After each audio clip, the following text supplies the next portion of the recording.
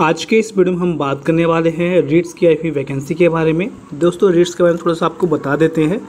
Basically दोस्तों, ये जो है इंडियन रेलवे की एक पार्ट है, जिसमें दोस्तों वैकेंसीज क्रिएट हुई है। तो इसमें कैसे अप्लाई करना है और क्या इंपॉर्टेंट इन्फॉर्मेशन है, सारी चीज़ जो है डिस्कस करेंगे। पसंद आएगा लाइक कीजिएगा।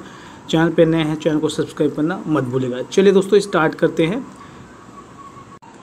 तो शुरुआत करेंगे दोस्तों यहाँ पे नंबर ऑफ़ पोस्ट के बारे में। तो दोस्तों यहाँ पे नंबर ऑफ़ पोस्ट काफ़ी कम है, लेकिन फिर भी अगर आप अप्लाई करना चाहते हैं और एलिजिबिलिटी क्राइटेरिया में फुलफिल होते हैं तो आप जो है यहाँ पे अप्लाई कर सकते हैं। तो सबसे पहले ये जो जॉब है दोस्तों कॉन्ट्रैक्ट बेसिस पे है। यहाँ पे किसी प्रकार कोई भी एग्जामिनेशन नहीं होगा। सीधे इंटरव्यू के बेसिस जो है सिलेक्शन होगा। यहाँ पे दोस्तों अगर बात की जाए कौन कौन सी पोस्ट जो वैकेंसी आई है तो सबसे पहले दोस्तों ये जो रिट्स कंपनी है बेसिकली नवरत्न कंपनी में आती है, जो मिनिस्ट्री ऑफ़ रेलवे के अंतर्गत आती है। और यहाँ पे दोस्तों साइट इंजीनियर्स के लिए जो है वैकेंसीज निकल रखी है ऑटो कैड ऑपरेटर के लिए जो है वैकेंसी निकल रखी है। ये जो है इसका कोड है दोस्तों, आप इस कोड को ध्यान रखिएगा। नंबर ऑफ़ वैकेंसीज की बात करें साइट इंजीनियर के लिए एक पोस्ट है। वर्क्स के लिए दो पोस्ट दो दो पोस्ट करके यहाँ पे ऑटो कैड ऑपरेटर के लिए है। यहाँ पे जो एज लिमिट है दोस्तों, उसमें जो है पचपन साल रखा गया है। एक बात और बताना चाहता हूँ, यहाँ पे जो क्वालिफिकेशन रखा गया है डिप्लोमा और बीटेक दोनों कैंडिडेट जो है फॉर्म को फिलअप कर सकते हैं, लेकिन दोस्तों यहाँ पे एक्सपीरियंस भी रिक्वायरमेंट है। और इस फॉर्म की जो लास्ट डेट है दोस्तों, नौ अगस्त 2024 रखी गई है। चलिए जानते हैं क्या क्वालिफिकेशन है। तो यहाँ पे दोस्तों अगर आप इसका नोटिफिकेशन पढ़ोगे तो यहाँ पे जो क्वालिफिकेशन दिया गया है उसमें जो है बैचलर्स डिग्री या फिर डिप्लोमा के सिविल इलेक्ट्रिकल वाले, इलेक्ट्रॉनिक वाले कैंडिडेट जो है फॉर्म को फिलअप कर सकते हैं। अगर आपने बी बी टेक कर रखा है तो आपको दो साल का एक्सपीरियंस चाहिए। अगर आपने डिप्लोमा कर रखा है तो तीन साल का एक्सपीरियंस रिक्वायरमेंट है। इस बात को आपको ध्यान में रखना है। इसके बाद दोस्तों, जो आपका एक्सपीरियंस है, वो बेसिकली रेलवे में ही होना ज़रूरी है। रेलवे इंफ्रास्ट्रक्चर प्रोजेक्ट में होना ज़रूरी है, अगर आपने कर रखा है तो। इसी प्रकार दोस्तों डिग्री सिविल में सिविल इंजीनियर अप्लाई कर सकते हैं और डिप्लोमा के लिए डिप्लोमा वाले अप्लाई कर सकते हैं। अब यहाँ पे ऑटो कैड जो ऑपरेटर वाली वैकेंसीज़ हैं, इसमें जो है दोस्तों, अगर बात किया जाए तो आईटीआई सर्टिफिकेट रिक्वायरमेंट है या फिर डिप्लोमा इंजीनियरिंग रिक्वायरमेंट है, दो, इन दोनों में से कोई सा भी है तो आप यहाँ पे ऑटो कैड ऑपरेटर के लिए फिलअप कर सकते हो। लेकिन दोस्तों, यहाँ पे दो साल का एक्सपीरियंस भी रिक्वायरमेंट है, जिसमें दोस्तों आपको जो एक्सपीरियंस होगा वो ड्राफ्ट्समैन और ऑटो कैड ऑपरेटर में मिनिमम दो साल का एक्सपीरियंस रिक्वायरमेंट है।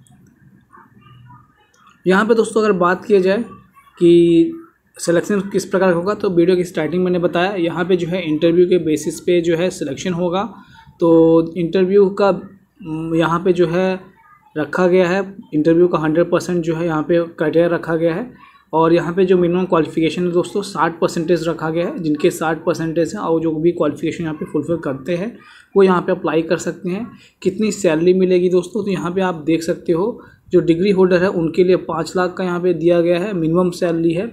और जो यहाँ पे ऑपरेटर वाले कैंडिडेट हैं, उनके लिए बत्तीस हज़ार का यहाँ पे ग्रॉस सैलरी रखी गई है।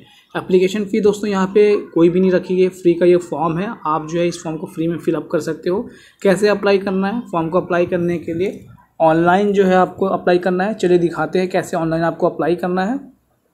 तो ये है इसका लिंक जिसका मैंने आपको लिंक दे रखा है डिस्क्रिप्शन बॉक्स पे। यहाँ पे जो है वैकेंसी नंबर पूछा गया है। तो जैसे कि मैंने बताया कि कौन सी वैकेंसी के लिए आप फिलअप करें, आप अपनी वैकेंसीज नंबर देख लें। तो यहाँ पे दोस्तों 184 से स्टार्ट थी। हालाँकि यहाँ पे बहुत सारी वैकेंसीज आई हैं। हर एक पोस्ट के लिए दोस्तों अलग अलग क्वालिफिकेशन रिक्वायरमेंट है। लेकिन जिस वैकेंसी के बारे में बात कर रहा हूँ, ये वैकेंसी साइट इंजीनियर्स की है। तो one eighty four oblique twenty है। तो यहाँ पे मान लीजिए आप ऑटो कैड ऑपरेटर के लिए अप्लाई करें तो यहाँ पे उसको सिलेक्ट करेंगे।